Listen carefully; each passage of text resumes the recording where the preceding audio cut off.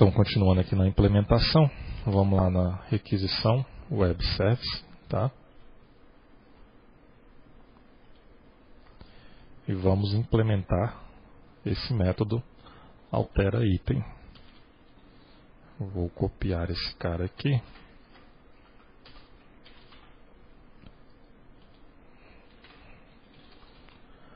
Altera item, vai receber o mesmo parâmetro vai enviar também o mesmo parâmetro, o item em formato JSON.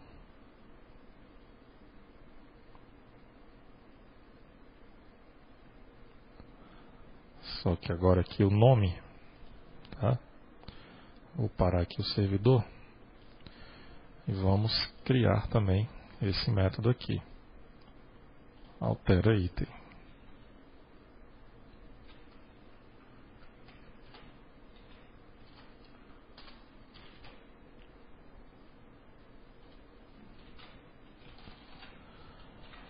Altera item cardápio, vou copiar aqui, tá? colar. Ok. Vamos fazer aqui as alterações.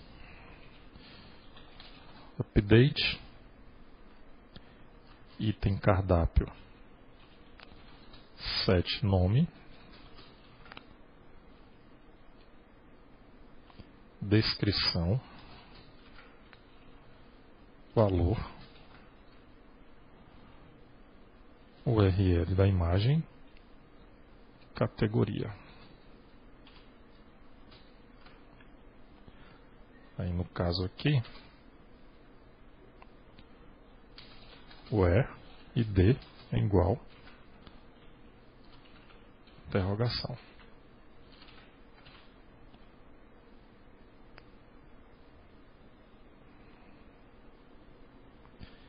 Vamos lá.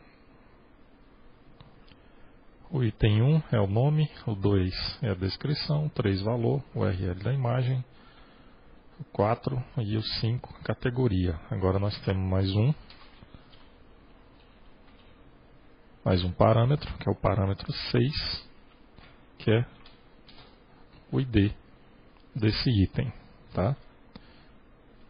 Aqui eu não preciso pegar essas chaves geradas, né, porque esse item já está cadastrado no banco de dados. Ok. E aqui ele vai retornar o objeto já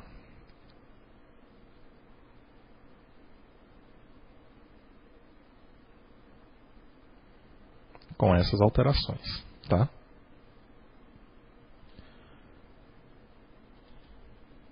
Vamos lá.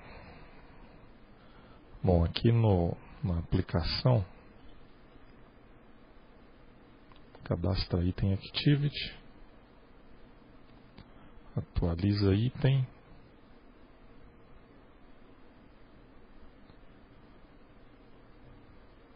nós temos que alterar aqui, ó, essas mensagens, tá? Aqui no caso, item atualizado com sucesso, erro, atualizar o item.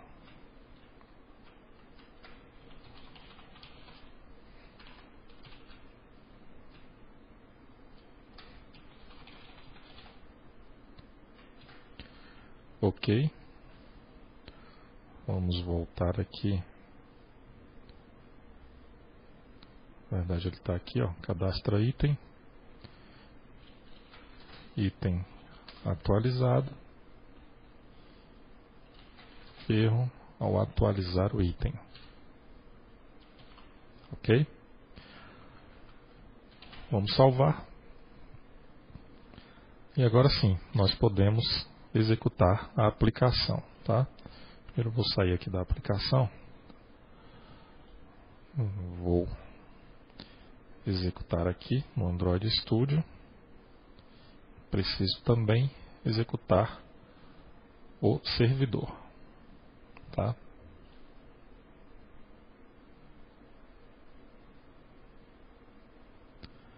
Aqui no banco de dados, nós temos três itens, tá? E os três itens têm o mesmo nome aqui. Vamos fazer aí uma alteração desses itens.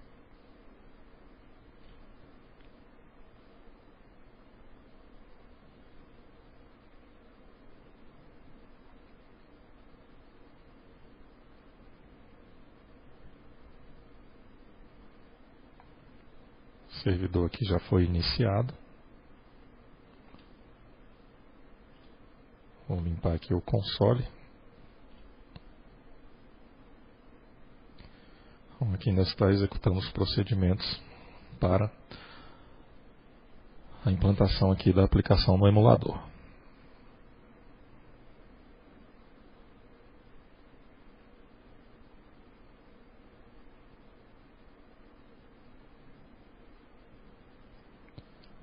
Ok, já instalou, já, já abriu aqui a aplicação, tá?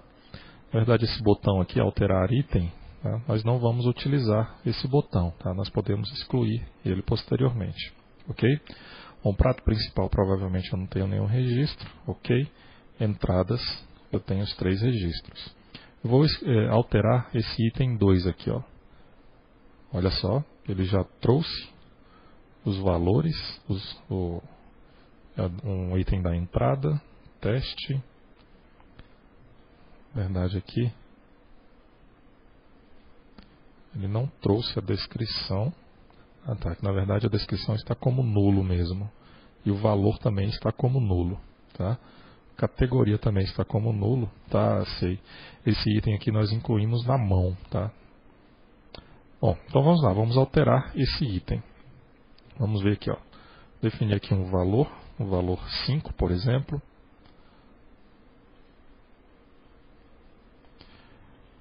Vou alterar aqui. Agora nós vamos fazer o seguinte, tá?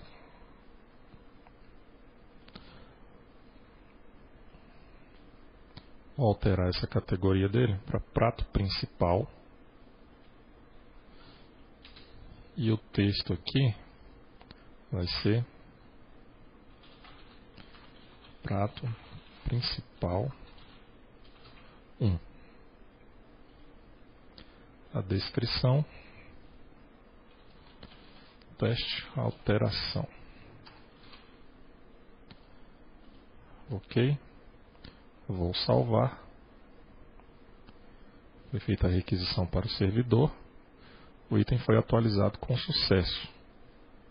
Tá? Só que ele não atualizou aqui. Por quê? Que ele fechou a, aquela activity, tá? E essa lista ela só está sendo buscada no onCreate. O que, que nós temos que fazer aqui? Chamar também, é, buscar essa lista também no onResume, tá? Então, se eu voltar aqui, ó, e aqui entradas, agora eu só tenho dois itens, tá? Agora ele atualizou.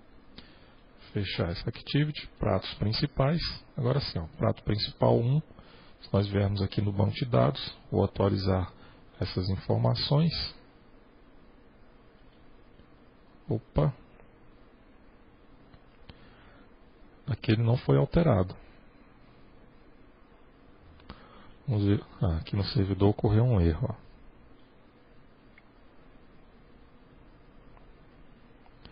Então tá um erro de sintaxe aí no SQL.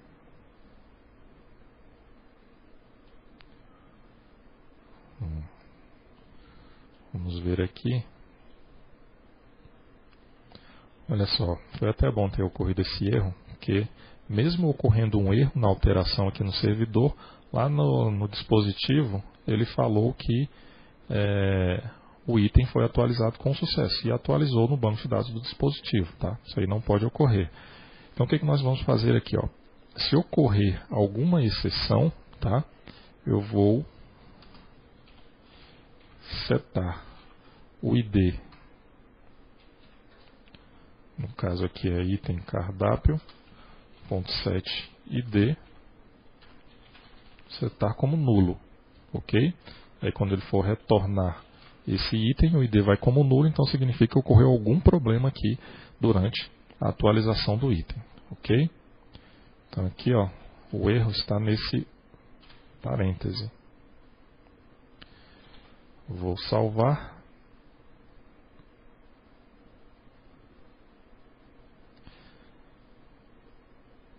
Executar aqui a aplicação novamente, o servidor, tá? E aqui, ó, na aplicação, nós já vamos fazer o seguinte.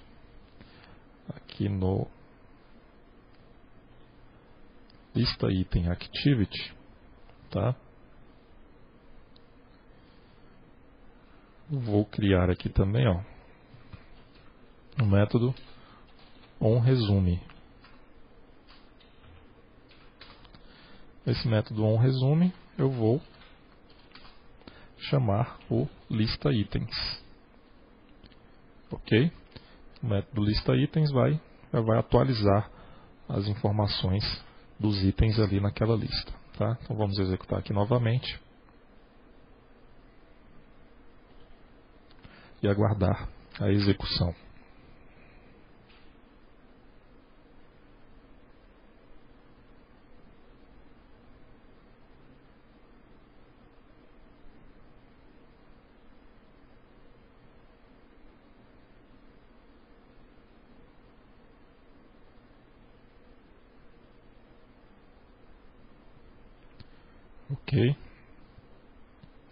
Vamos lá, aqui nas entradas eu tenho dois itens. Pratos principais, eu tenho um item, eu vou alterar esse item aqui de novo. Ó. Aqui já veio como prato principal. Na verdade eu não vou fazer nenhuma alteração, tá? Só vou aqui, ó, mandar salvar. O item foi atualizado com sucesso. Vamos ver aqui no servidor. Não tem nenhum erro aqui. Agora vamos ver no banco de dados.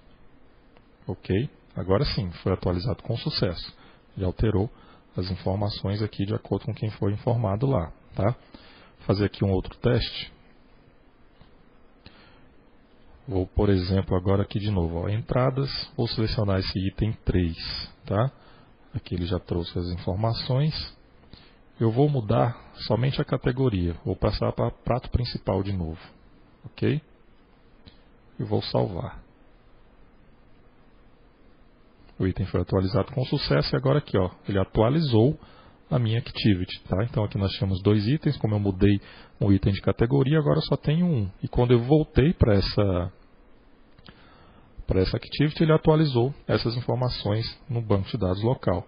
Se eu aqui acessar agora os pratos principais, eu tenho dois itens, tá? E aqui no banco de dados do servidor, essa informação aqui vai passar de zero, na verdade esse aqui ó, vai passar de zero para um. Vou atualizar aqui Perfeito. Tá? Então aqui as, as atualizações, a alteração do item agora está funcionando. Ok? Bom, então dessa forma nós finalizamos aqui este vídeo.